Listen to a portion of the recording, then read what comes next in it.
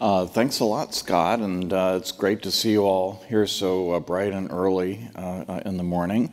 Um, when I was asked to do a talk on the Bill of Rights, I said yes, thinking, well, there's an awful lot to say about that. That shouldn't be that hard. But the more I thought about it, the more it occurred to me that it really is just too big a topic to be uh, easy to talk about. So let me just tell you what I have in mind, but uh, you may want to redirect me as the morning uh, uh, goes on. So, uh, what I'm planning to do is to talk about uh, the Bill of Rights as a conceptual matter. That is, what is a Bill of Rights? How did it come about? What were the, the circumstances of adding a Bill of Rights to uh, our Constitution? What sorts of things are in Bills of Rights? How, how has this been thought about? Now, most of the things that we argue about and sort of care about about the Bill of Rights are much more granular than that. And so what I propose is that after we've sort of looked at this as a conceptual matter, that I'm going to shut up and uh, open the floor to you. Actually, I may, I probably will open the floor to some of you during the course of the early part too, because that's just the way we do things in law school.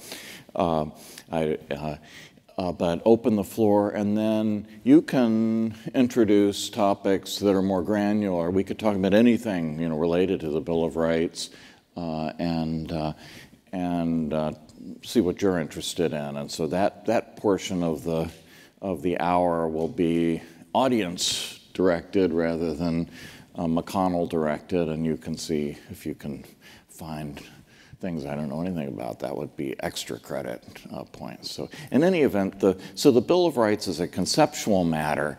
Um, as you probably know, uh, the original Constitution, as it was hammered out in the summer of 1787 in Philadelphia uh, and ratified uh, over the course of the next six months or so, uh, did not have a Bill of Rights. Uh, so the addition of the Bill of Rights was actually it was an issue, and so they thought about it. Um, when we teach constitutional law, uh, none of you are in law school yet, but I suspect some of you will be uh, you know, in a few years. Uh, uh it, we divide constitutional law today into structure and individual rights.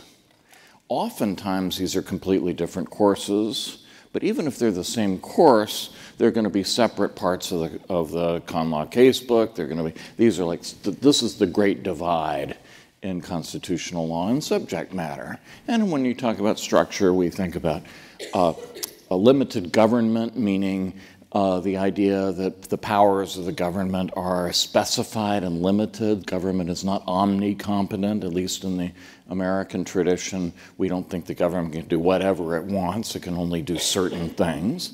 Uh, separation of powers, you know, uh, president, Congress, courts. Uh, we think that uh, dispersing power among different institutions so that no one institution can dominate is a good way of uh, protecting individual liberty.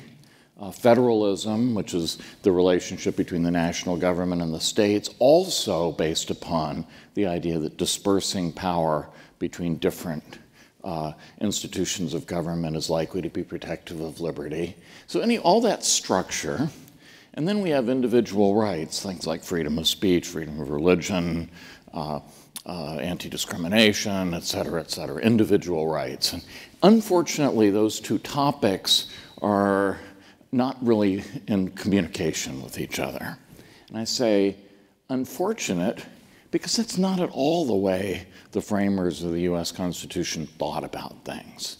They did not think that structure of government was one subject and individual rights were another subject. They thought they were the same subject, like two sides of a coin. Uh, and they began with the idea of natural rights and the creation of government. So this is um, not everyone was a Lockean, you know, follower of John Locke. Uh, and there were certainly competing ways of thinking about public affairs and constitutionalism. Uh, but uh, John Locke provided uh, as close to a common vocabulary for, uh, for discussion of you know, constitutional structure as, uh, as anything. And we, so you begin with natural rights. So natural rights means uh, rights that people have in the state of nature. Now, this is important as we think of what, what is going to be the, what is the content of a Bill of Rights? Right? Because a Bill of Rights is actually a law. It's a legal document, and its force comes from the fact that it's adopted through constitutional processes. But the content of a Bill of Rights comes from somewhere else. You know, why, why do people, why, why do the framers of the Bill of Rights choose uh, to list some things and not other things? And this goes back uh, to the beginning in natural rights. And it's important to remember that for them, natural rights were rights arising in a state of nature. That's why they're called natural rights. Um, and they are not the same thing. We have lots of rights that are not natural at all, like a right to receive Social Security when we retire, if it's still around. I, be, I think it'll still be around when I retire. I'm not so sure for you. uh, but, you know, so there are all kinds of rights we have uh, that are not natural, but uh, the, as you'll see, the idea of the Bill of Rights comes out of a tradition in which they begin thinking about the formation of government from the point of view of natural rights. And uh, so John Locke had a very broad understanding of what natural rights were. He says famously that the state of nature is a state of perfect freedom to order their actions and dispose of their possessions and persons as they see fit within the bounds of the law of nature. And what's the law? The law of nature is essentially the principle that uh, other people have exactly the same natural right that you do.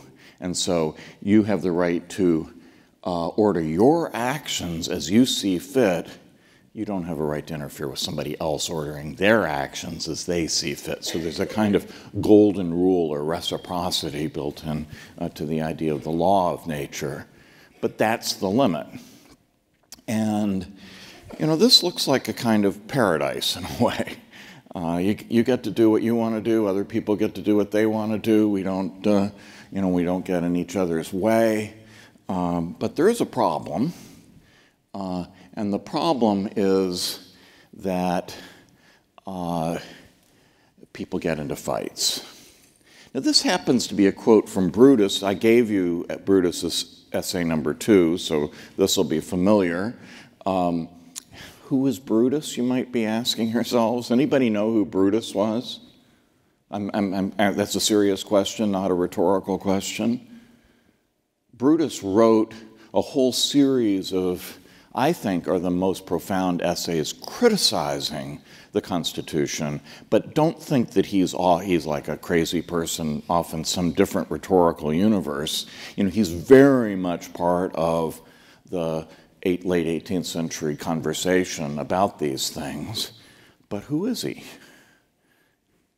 Anybody? So, does anybody know who the famous Brutus? If you don't know who the real Brutus, we don't know who he is.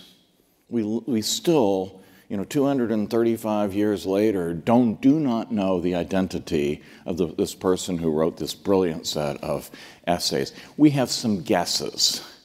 Probably Melancton Smith of New York. Some people think George Clinton. Some people uh, uh, have thought Richard Henry Lee of Virginia. Uh, we don't really know. Melancton Smith is probably the best guess. Doesn't really matter uh, because he doesn't give, he's not writing from the authority of who he is. Uh, he's uh, writing by the authority of what he says, and the name that he chooses for himself is quite significant. In a, in a way, we in our modern sort of social media world have, re, have recreated this idea of, of speaking out under handles. You know, in the blog world, you know, people often publish under names. Like I'll reg- regularly refer to somebody like, I'll say, instead of calling him Glenn, Glenn Reynolds, I'll say, well, Instapundit wrote that.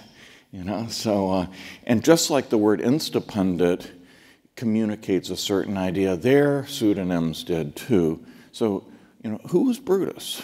Yeah, and, and that's what we learn, and of course, Shakespeare being our main source for this. And it makes us think that what Brutus is, is he's a traitor to his friend. He's disloyal. That's what I think most of us associate with Brutus. He turned on his friend. How terrible that. That isn't at all what they had in mind.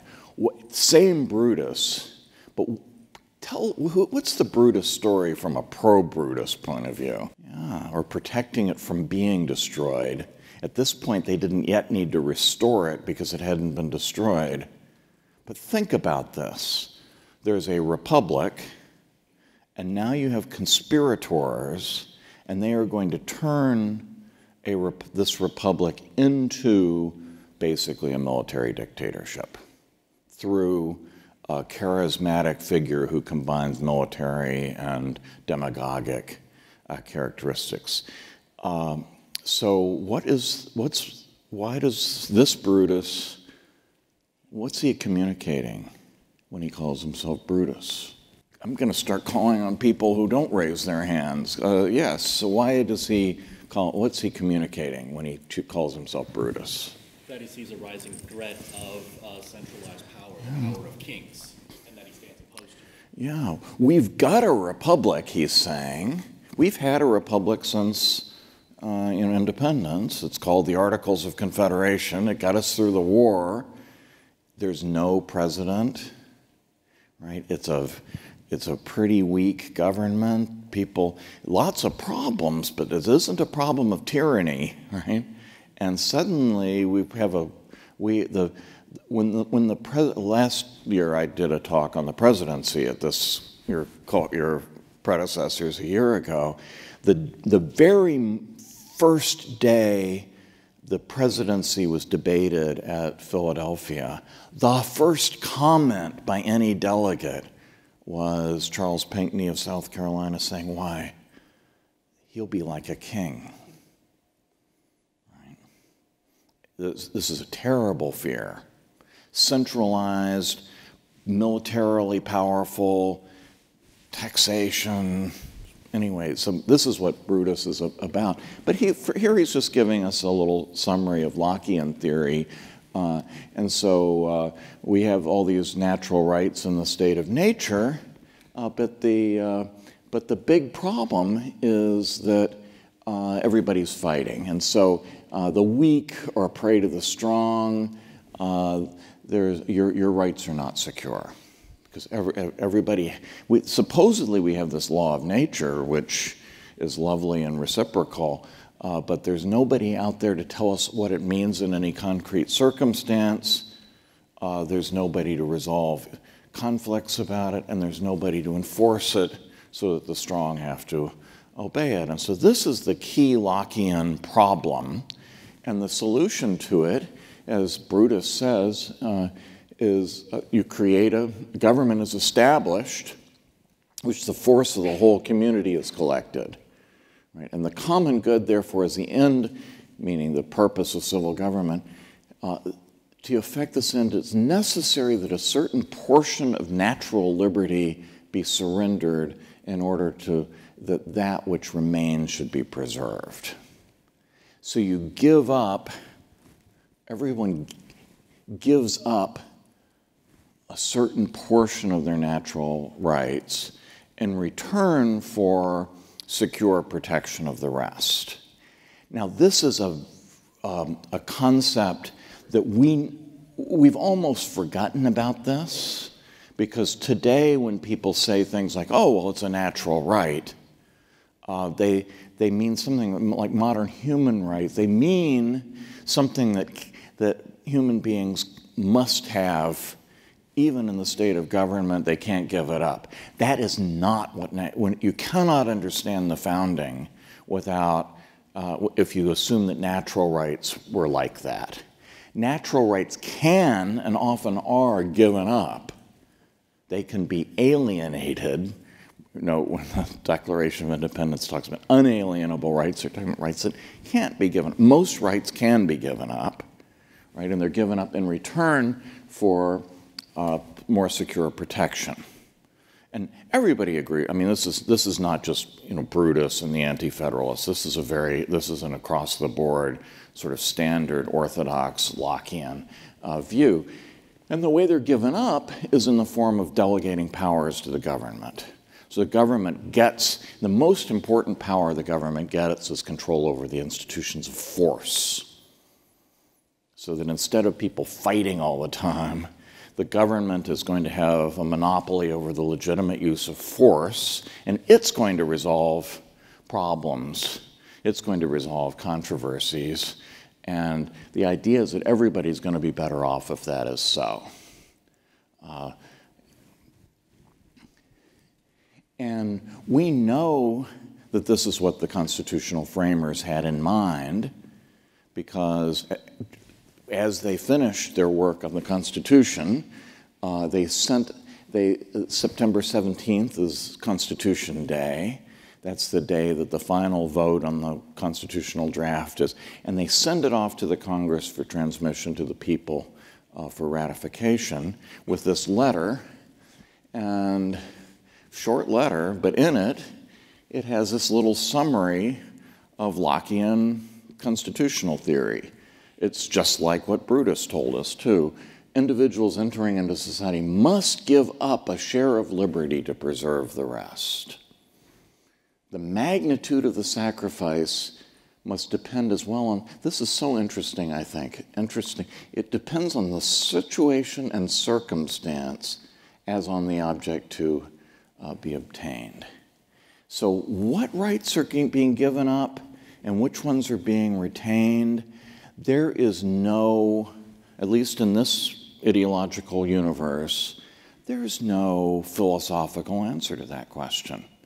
You can't look it up in a book. It isn't.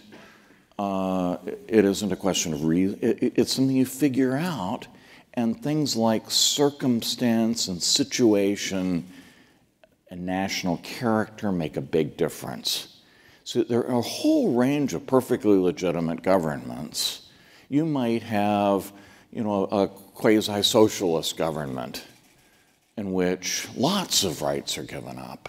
And you have, you know, you have government, the government runs a whole bunch of things. You might have a more libertarian government in which, you know, the government is fairly small and, and, and, and, and it depends on things. Our circumstance is we are fortunate enough to be across the ocean from any big enemies, right? And so we have a relatively libertarian uh, constitutional tradition, but that is just, it's something that, the, that our framers have to argue about and, and discuss and work out in light of circumstance. Uh, and it's difficult to it's difficult to draw the line between these things. But um, but, but remember, the, the idea here is that um, as this line is being drawn, uh, the line, powers are on one side, rights are on the other side of the line, right? Um, and it doesn't really matter in theory whether you specify which rights you've retained or whether you specify which rights you've given up to the government it's in theory all the same thing. Right? So uh, Madison writes a letter to Washington while the Bill of Rights is under consideration. And he says, you know, if a line can be drawn between powers granted and rights retained, it would seem to be the same thing. Seem to be the same thing. But there are practical reasons why maybe it's not.